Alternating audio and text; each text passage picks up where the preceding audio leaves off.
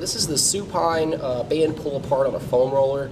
Uh, great exercise if you're lacking that thoracic spine mobility, that upper back mobility. Uh, basically, if you can't touch your hands together behind your back, you're going to benefit from this exercise.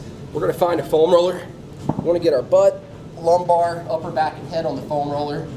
Uh, overhand grip on the resistance band, and then just do a pull apart like so. You can breathe out at the bottom.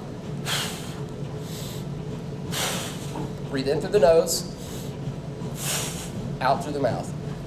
Biggest mistake I see on this exercise is one, not keeping that lumbar flat on that foam roller, and two, uh, getting that breathing wrong. So make sure you're breathing in through the nose at the top position, out through the mouth at the bottom position. And that was the supine band pull apart on a foam roller.